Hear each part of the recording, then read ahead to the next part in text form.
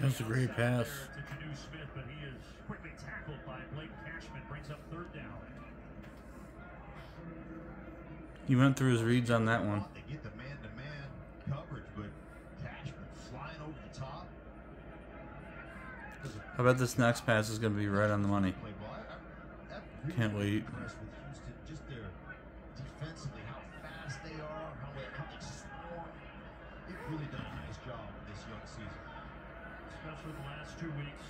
Last week holding Pittsburgh to just six points.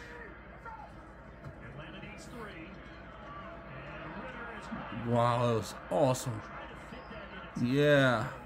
to his tight end. Throw behind him and into right into the defense. And you're just going to watch right here. Look at, watch just the eyes. Read the quarterback. He goes to his right hand side. You read, you read, you read. Great throw. Break it up right there. Wonderful job by Pitre, number five. This fucking guy.